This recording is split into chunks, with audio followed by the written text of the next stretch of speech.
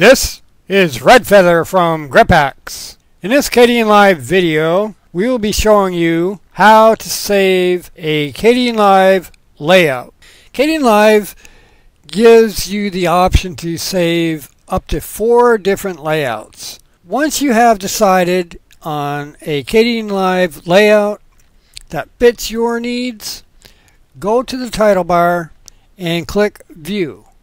Scroll over to Save Layout 1 and click. Once the Kdenlive Save Layout window appears, give it a name and once you're done naming the layout, click OK.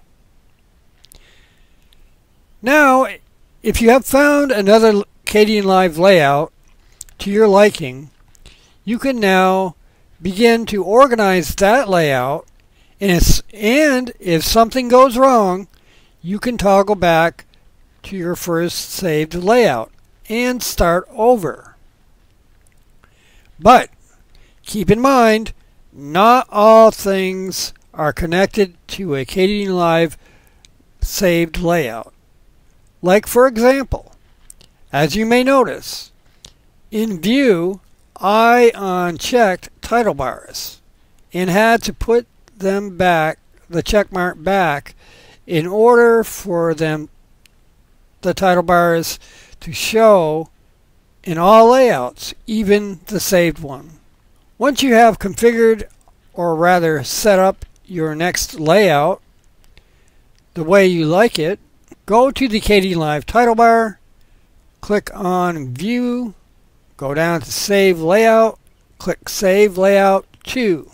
When the layout window appears, give it a name and click OK. This should save a bit of editing time as now you can toggle between the two without losing a prior setup you liked so much in Kdenlive.